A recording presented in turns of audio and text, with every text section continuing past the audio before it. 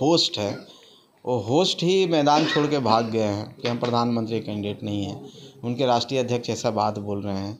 और जो बड़े घटक दल हैं, राष्ट्रीय जनता दल, वो बोल रहे हैं कि हम सीएम के कैंडिडेट नहीं हैं।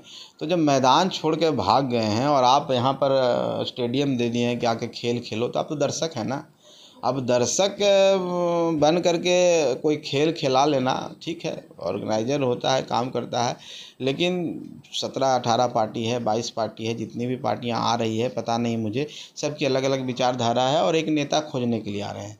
एक नेता है कि स्टैब्लिश है, जिसका नाम नरेंद्र मोदी है, जो नौ सालों से इस देश में प्रधानमंत्री के रूप में है और आने वाला चौबीस में भी एक सशक्त उम्मीदवार हैं, एक मज़बूत उम्मीदवार हैं और लोग उन पर विश्वास करते हैं। हम सर्वे भी देख रहे हैं, बहुत सारे चैनलों का सर्वे देख रहे हैं, सबसे ज़्यादा उन्हीं का आता है।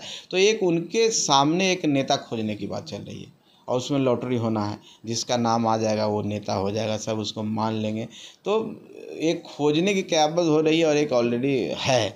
तो हम समझते हैं कि एक मज़बूत दावेदार जो अभी हैं और हमारे राज्य देश में प्रधानमंत्री के रूप में हैं, उनके सामने एक अच्छा चेहरा खोजा जाए। हम उनको शुभकामना देते हैं कि वो चेहरा मिले जो आप लड़ाई लड़